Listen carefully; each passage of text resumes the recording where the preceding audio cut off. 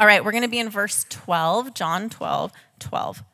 The next day, the great crowd that had come for the festival heard that Jesus was on his way to Jerusalem. They took palm branches and went out to meet him, shouting, Hosanna! Blessed is he who comes in the name of the Lord. Blessed is the King of Israel. Jesus found a young donkey and sat on it, as it is written, Do not be afraid, daughter Zion. See, your king is coming, seated on a donkey's colt. It is Palm Sunday. Amen. And I don't know about you guys, but usually when I come to church on um, all the different services I've been to over the years, it's a very celebratory, joyful time. I will never forget when my girls were in a choir at church and hundreds of littles, they're with them, and they all come out and they're waving their paper palms, and we're like singing and clapping and taking pictures, and it's so great and it's so joyous. And I hate to be a party pooper, but I'm one of those people who I don't really know why we celebrate like that. Don't get me wrong, I understand the significance of the palms. Y'all, my, my computer's freaking out up here. I understand the significance of the palms. He was getting the praise and the honor that he deserves, and that's all great. But I can't help but pay attention to that just a few days later, those people that were cheering him are either going to remain silent on Friday or going to be yelling, Crucify him on Friday. The word tells us many stopped believing in him that week. So, don't stone me for saying that I don't have the best celebration on Palm Sunday because I think we need to be more reflective because people were turning their backs on Jesus. Because by Friday, instead of praise and honor, he was getting pain and punishment. What the heck happened? That things shifted so quickly within just a couple of days. And so today, I don't want to just talk about Sunday. I want to talk about what happened Monday through Friday, because to me, that's where like real life sits, right? So, in order to figure out what does this mean to us, why are we talking about this, Pastor Nicole? We need some context. So, first and foremost, it says there was a great crowd. There were a lot of people in this crowd. There were people that followed him from Bethany because they had seen him raise Lazarus to life. There were Greeks in the crowd. We know the Pharisees were there. The Bible tells us all of this. And I would really highly recommend that you go home, if you haven't already, and read the account of Palm Sunday in each gospel because you're going to get a different detail from each one. So they're all there, but the majority of the crowd were the common Jewish people. They had gathered in Jerusalem to celebrate the Passover. So, the Passover, for those of you who don't know, this is when they would celebrate God's um, rescuing them from Egyptian slavery and saving their firstborn sons. So, they're all there for this celebration. And they're all crying out, Hosanna, Hosanna. It means save me. And so, after everything that they had heard and seen Jesus do, they're like crying out, We believe you. We believe you're coming to save us. You're the Messiah. And they're waving these palm branches. And I want to talk about these palm branches for a minute because this wasn't just by chance. There's symbolism in these palm branches. They're waving them because they're actual symbols of Israelite independence from the king of Syria 134 years prior. Well, actually, more than that 160 something years, but I don't do math. So at that time, the king of Syria, Syria, which by the way, I always mess up Bible names, so give me some grace if I don't say this right, but I believe it's King Antiochus. Antiochus. I'm that girl that tries to avoid the Bible names when I'm talking because I never get them right. So at that time, he was suppressing the Jewish people, and particularly their religious customs, because he wanted to spread Hellenism. Okay? He believed that man was the measure of all things. And so think about how threatening it must have been that the Jewish people thought God was the measure of all things. And so he invades their temple and he destroys the Holy of Holies. So once again, the Israelites find themselves oppressed. It's a bit of a theme in the Bible. But then we have the Maccabees. Anybody know the Maccabees?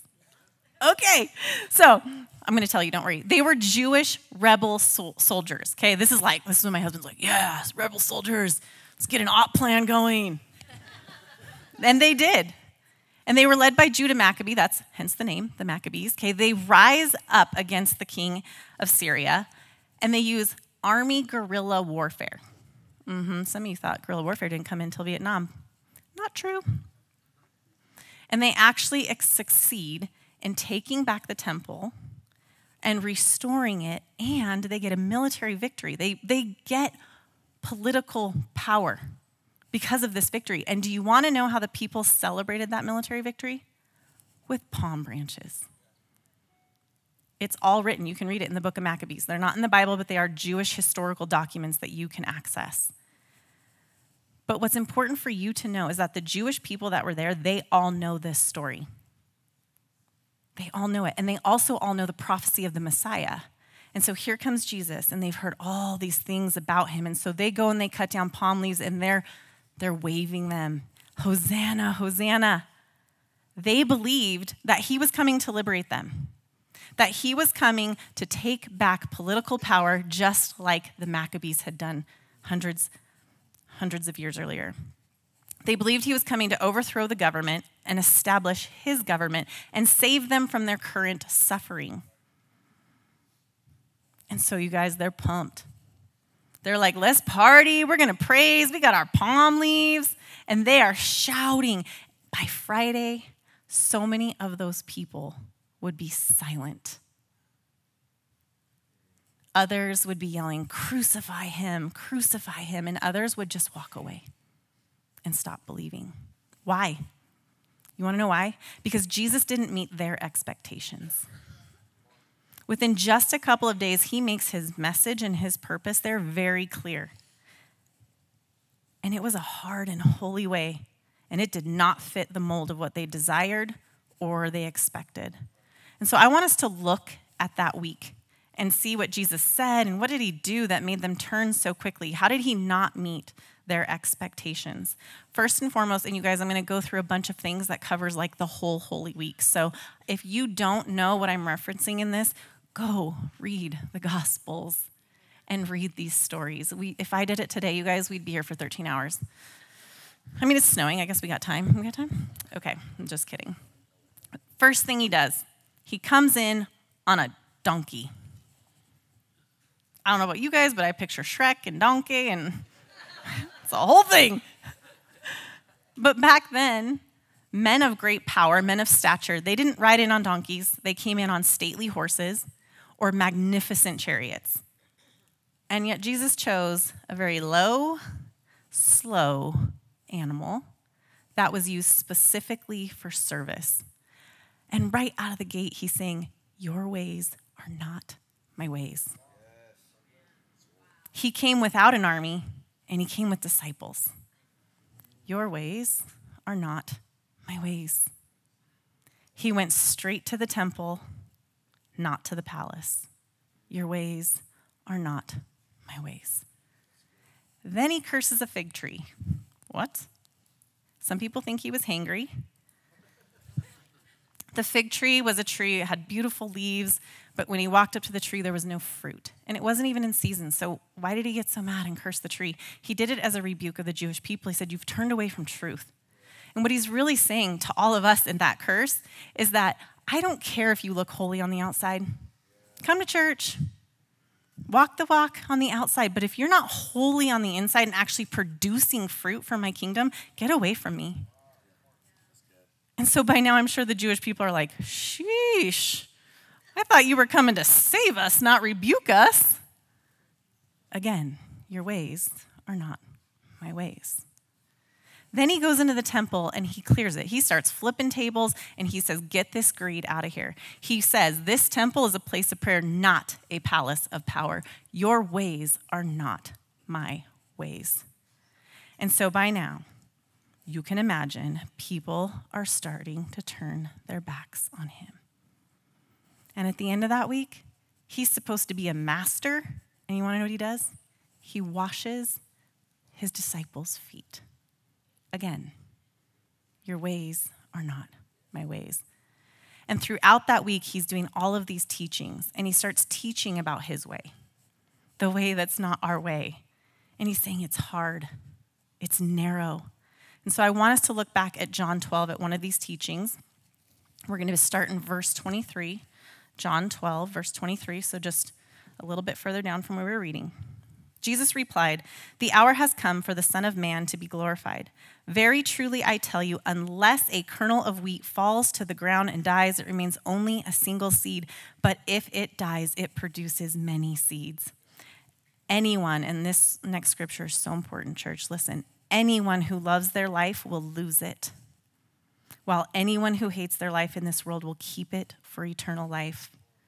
Whoever serves me must follow me, and where I am, my servant will also be. My Father will honor the ones who serve me. Now my soul is troubled, and what shall I say? Father, save me from this hour? No. It was for this very reason I came to this hour. Father, glorify your name. Then a voice came from heaven I have glorified it and will glorify it again. The crowd that was there and heard it said it had thundered. Others said an angel had spoken to them. Jesus said, This voice was for your benefit, not mine. Now is the time for judgment on this world. Now the prince of this world will be driven out. Can I get an amen? amen. And this to show the kind of death he was going to die. The crowd spoke up. We have heard from the law of the Messiah that the Messiah will reign forever. So, how can you say, do you hear them questioning him already? How can you say the Son of Man must be lifted up? Who is this Son of Man? Then Jesus told them, You are going to have the light just a little while longer. Walk while you have the light before darkness overtakes you. Whoever walks in the dark does not know where they are going. Believe in the light while you have the light, so that you may become children of light. When he had finished speaking, Jesus left and hid himself from them. Jesus came and proclaimed that he must lay his life down and that so must we. And they didn't like that because a message of self sacrifice was not what they wanted to hear. That was not the victory they were looking for. And in the very next verse, it says, even after Jesus had performed so many signs in their presence, they still would not believe in him. You see, many in the crowd had shallow faith. Some, they just came for entertainment. Oh, what's he going to do next? He just brought Lazarus back from the dead. Jesus. Others came because they were threatened by him. And I really don't think that sounds much different than the church today. How many are sitting in the church today with shallow faith or for entertainment or maybe even because they're threatened? And many of those people in the crowd turn their backs on him because of unmet expectations. And it's really no different than what's happening today in our society. Hello, deconstruction. Look back at verse 42. Yet at the same time, many, even among the leaders, believed in him. Okay, hey, that's positive. Some of the Jewish leaders are believing in him. But because of the Pharisees, they would not openly acknowledge their faith for fear they would be put out of the synagogue. The crowd had influence over the individual as well the Jewish leaders who actually believed that Jesus was the Messiah, they didn't want to publicly confess their faith because they didn't want to give up the comfort and the familiarity of what was happening in church. Because they would have been put out, because it was a bold belief. And so they said nothing. They had to choose the way of the crowd or the way of Jesus. And then we have Pilate on Friday. So Pilate's the Roman governor who Jesus was brought before. And because of the crowd, because of fearing the crowd, he knew Jesus was innocent, the Bible tells us. And yet, he listened to the crowd and he handed him over to be crucified. He had to choose the way of the crowd or the way of Jesus. And then we have poor Peter, Jesus' own beloved disciple, because of fear of the crowd, would deny Christ not once, not twice, but three separate times. And so the crowd shifts on Jesus. He didn't meet their expectations. They wanted a conquering king, but they got a humble servant. Jesus didn't come with a sword and an army, he came with peace and a sacrifice. He didn't come to overthrow the Roman government, he came to defeat sin and death. And you guys, they missed it. They missed him because the crowd is alluring, it's common, it's comfortable. But the way of the cross is hard, but holy. The Savior was right in front of them. But in their disappointment and in their unmet expectations, they missed it. But if we're being really honest with ourselves, church, we're no different than they are. We have to ask ourselves how do we respond when He doesn't meet our expectations, when He doesn't perform the way that I want Him to perform, when I am disappointed? How do I respond to the Lord? We all have our own Hosanna cry. We all need saving from something. Maybe for some of you, it's infertility and you're still waiting for that answered prayer. Maybe for others, it's a prodigal son that's just further away from the Lord than they've ever been. Maybe for others, it's you're waiting for that healing miracle while you watch everybody else around you get theirs. Maybe it's loneliness or addiction or pride. We all have our Hosanna cry. And so we have to ask ourselves are we going to follow the crowd or are we going to follow Christ? In the waiting and in the unmet expectations, in the disappointments, are we missing him? Are we missing the bigger thing he's trying to do in the midst of our suffering? It's not always saving us from our suffering, it's what he's doing in the midst of it. So, Jesus made it really clear, you guys. It's very clear if you read the Bible. It is not going to be easy if you say yes to him. He never says, Come with me, and I'm just going to make everything nice and pretty, cozy from here on out. I wish. No. And I'm afraid that we choose the way of the crowd way too often. It's really easy to come to church on Sunday, but then live like the crowd Monday through Saturday. But listen to Matthew 7 13 through 14. Enter through the narrow gate. For wide is the gate and broad is the road that leads to destruction, and many enter through it. But small is the gate and narrow the road that leads to life, and only a few find it. Because that's a very sobering scripture. In what ways have we chosen the crowd over the cross? And I want us to genuinely consider this as a church today. And so I'm going to ask us to look at some pieces of our society, the crowd today, and compare it, right? Let's see. What does the cross say? What does the crowd say? And where do I sit with that? Remember, don't stone me. I'm just speaking scripture. There's going to be a lot of scripture references up here, so get ready because I can't read them all. They'd, we'd be here all day get your camera out if one speaks to you, and I want you to go to these scriptures. So we're going to look at some things about what the crowd says today. Number one, the crowd says, glorify yourself. It's all about you. You do you, boo, whatever makes you feel good. But the cross says, glorify God. It's not about you. The crowd says, take care of you first. But the cross says, value others above yourself. You want to know how we take care of you first? By glorifying God. Let Him soak into you, and He will give you everything you need to serve others before yourself. The crowd says, never enough. More money, more fame, more food, more things, more power. But the cross says, less is more. Better a little with righteousness than much gain with injustice. And when it comes to parenting, and I know I'm going to step on some of your toes now, let the child lead. Let their sports, their emotions, and their lives take center stage and priority in your life. But the cross says, Seek first the kingdom of God. Train up a child in the way he should go, in the way of the Lord, because discipline yields the peaceful fruit of righteousness. And now some of you are really going to hate me. But it's not me, it's the word. The crowd says sex outside of marriage with whoever you want, whenever you want, go for it. Mm. The cross says keep the marriage bed pure.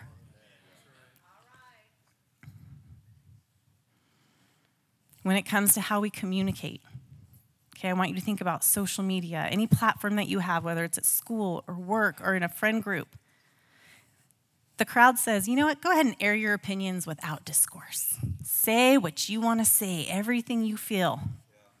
The cross says, be quick to listen, slow to speak, and slow to anger, and let no unwholesome talk come out of your mouth except for that which is meant to build others up. And when it comes to finances, I know some of you are going to leave now. Earn more, the crowd says.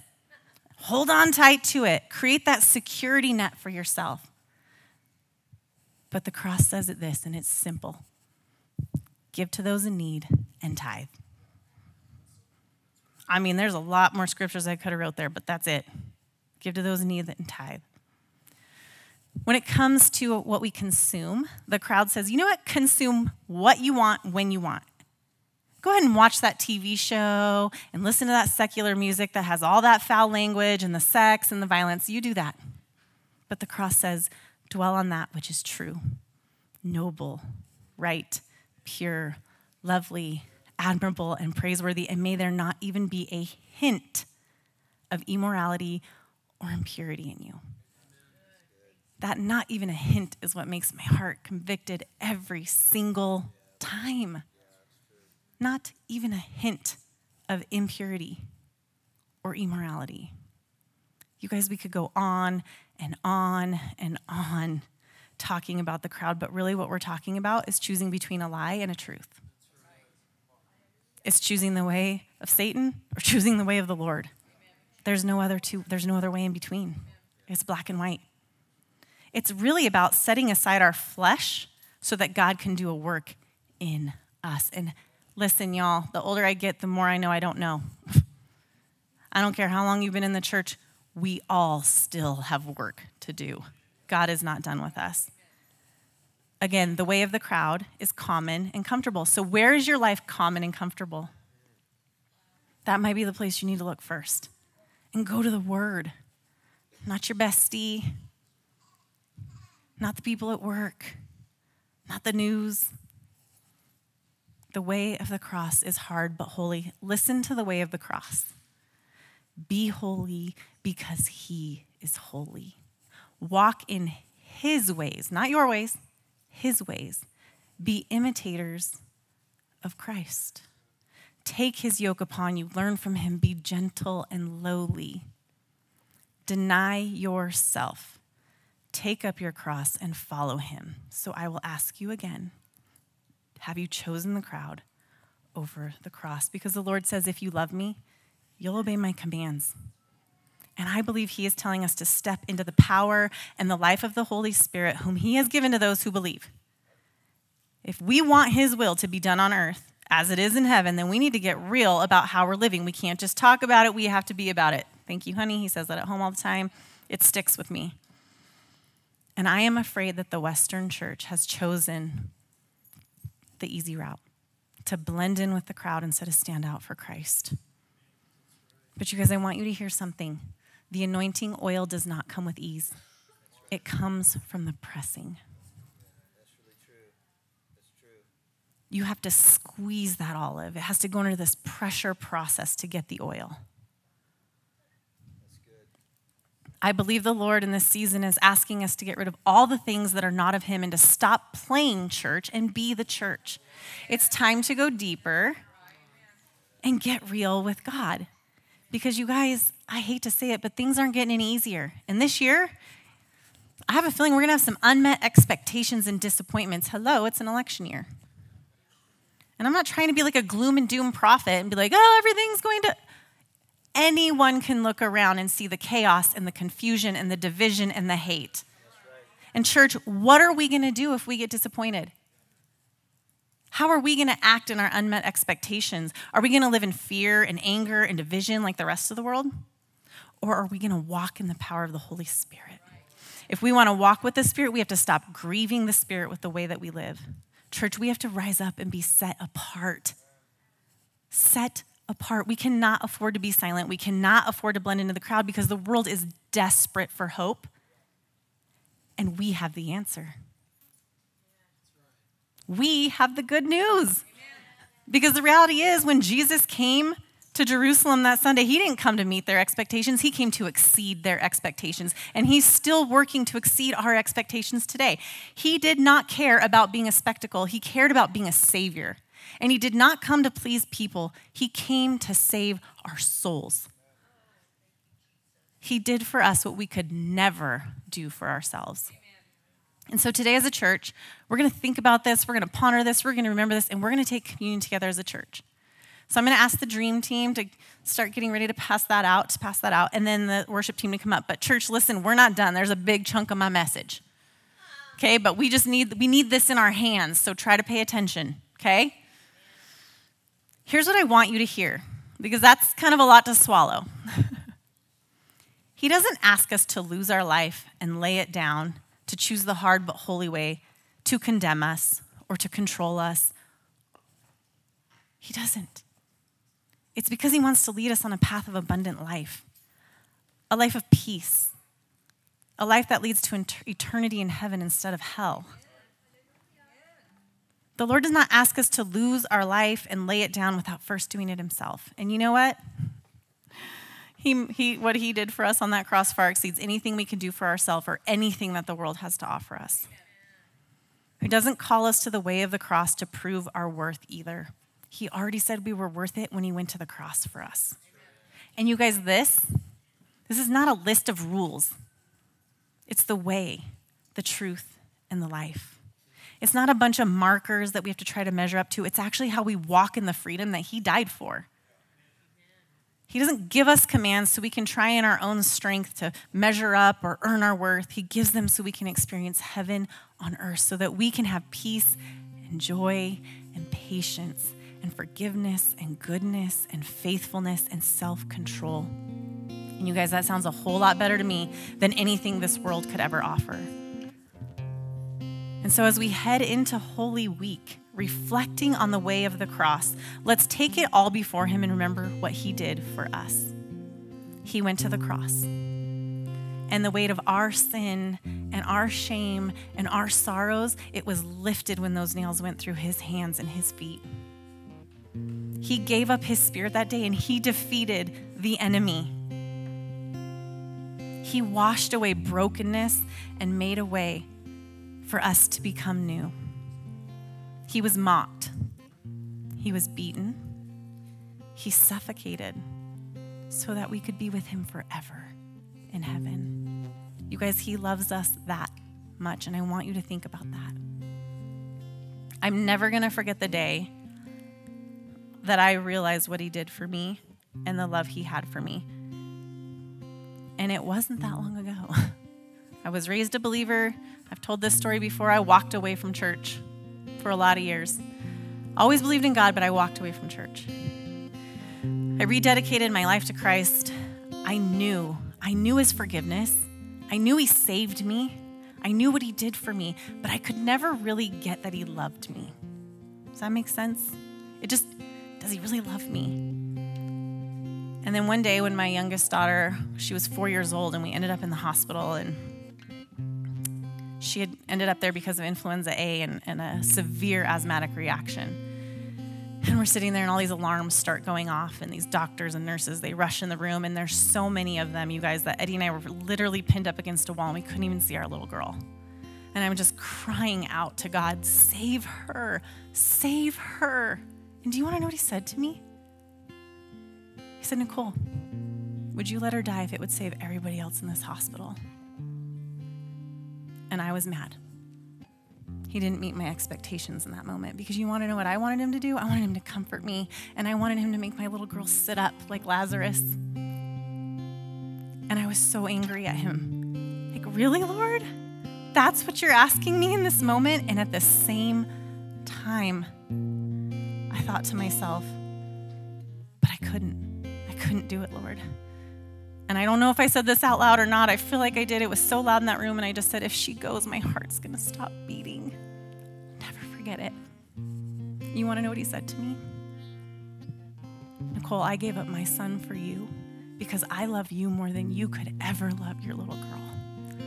And in that moment, I didn't think there was a love greater than a mother's love. And so I looked, I, I literally was like, that's what you're telling me right now? Like, wow in this moment, though, Lord, like this is what you're saying? But then I realized that love wasn't just for me, it was for my little girl and her sister and her dad and every single person in that hospital and everybody here today. And we sat in that ICU trusting that if He loves us that much, we have to trust that no matter the outcome, it's for our good and for eight days we didn't know if she was going to make it. But by His grace, she's doing the news.